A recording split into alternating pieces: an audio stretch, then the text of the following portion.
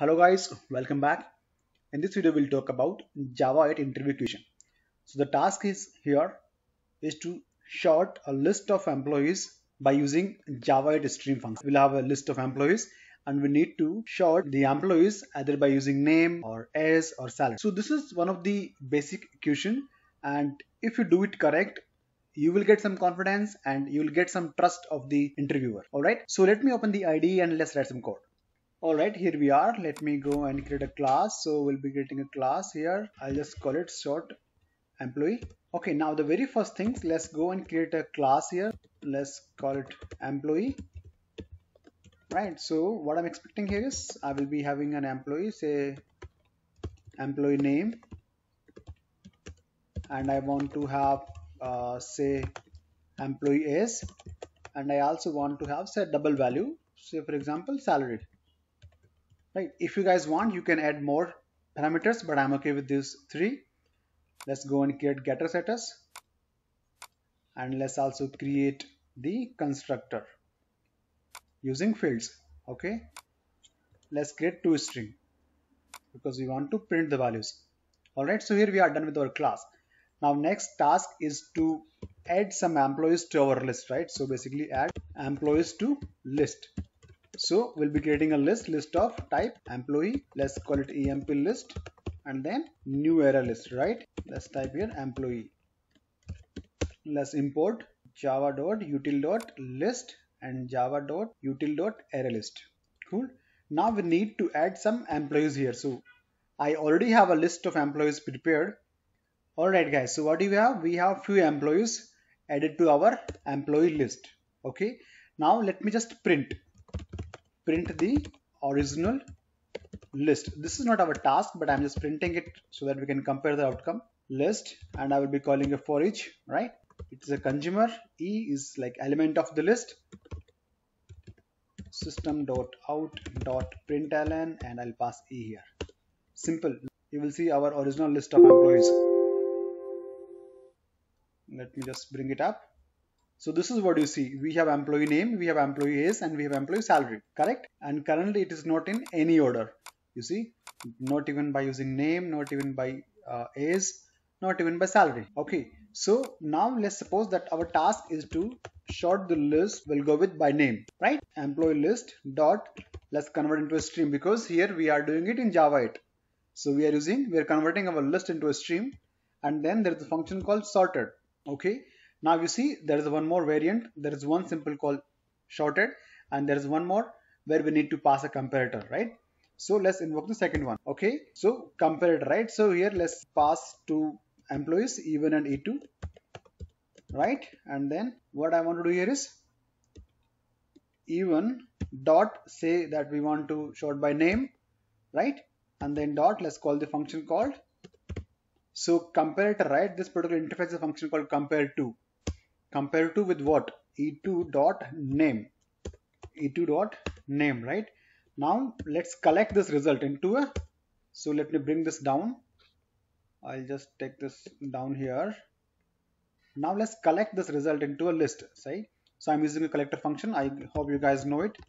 Collectors dot to list is the function that you can use to collect the result into a list, right? Let's get the result into a list. So list of employee and our list is sorted by let's say uh, sorted by name. Made a spelling mistake. Now let's print our list. Sorted by name is our list. Dot uh, I can simply call for each right? Let's see another way of printing the value. Method reference. I believe you guys know what is method reference. If you do not know you can watch my video in which we have already discussed about the method reference right? Let me just write a sys out here.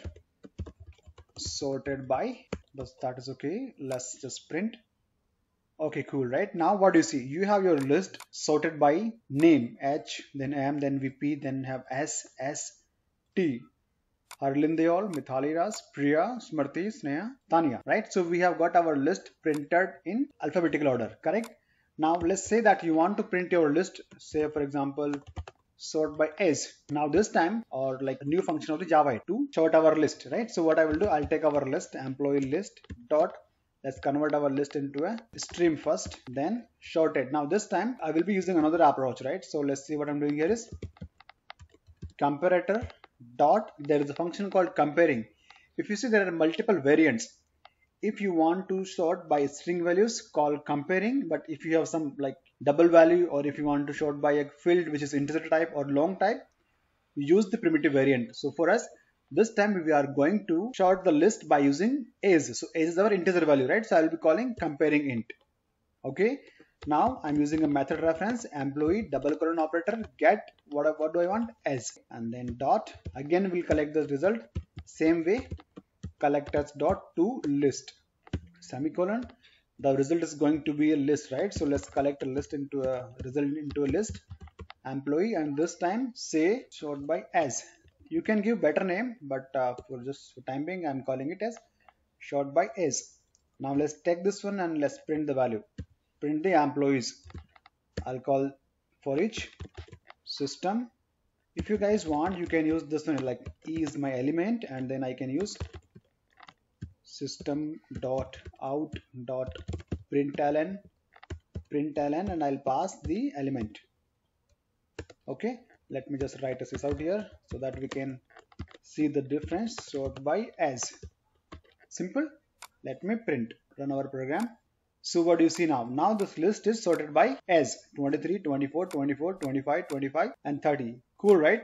So if you use comparing this particular function, it's very easy because it provides multiple functions like you have comparing, you have comparing int, you have comparing long, you have comparing double. Now say for example, if you want to sort your list by salary. So in our example, salary, what is the type of salary? Salary is double, right? So let's do that. Let's take our employee list. Dot let's convert into a stream. Dot sorted comparator.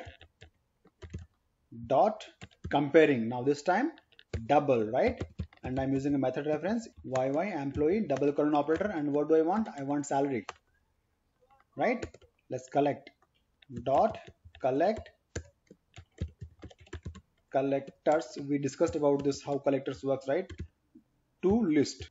Let's collect into a list list and then say employee list and then by salary. Correct? Now if I have to print I can simply print. Dot for each system dot. Let's write one more sys out here. And by what salary? Which is a double value. Now in case if you have to sorry by salary I made a mistake here let's run our program okay cool now what do you see here salary so our list, list of employees is sorted by salary 40,000, 50, 50, 60, 70 and 90k. Cool, right? Interviewer can ask you to filter out something. Can you please filter those elements where salary is less than 50k, right? So what you can do is here you can modify this. Let me just take this as it is. Here, see if you want to apply a filter, correct? So what you can do is you can call here you can call before you short you apply a filter. Let's call a function dot filter right? Filter what? I want to filter the list of employees based on salary correct? I have to pass e employee right? And I want to take the salary. Give me the employees where salary is greater than 50,000 correct? And less I, I'm not going to collect I will simply print the values here right? So what I can do here? I can simply call for each here only right? System dot out colon colon println. What do I have? I have my employee list, convert into a stream, applied a filter that I want a list of employees where salary is greater than 50,000 and then sort the employees by salary. Correct? So let me write this out here. First filter, then sort. Okay, let's run this one. Let's see the outcome. So what do you see now? In your list, you just have three employees where salary is greater than 50,000 and that is also in the and your list is in sorted order of salary. Correct? I hope you guys are getting it. In case if you have any doubt, just let me know in the comment section. Thank you for watching and if you think that you need more clarification or more examples, just let me know in the comment section.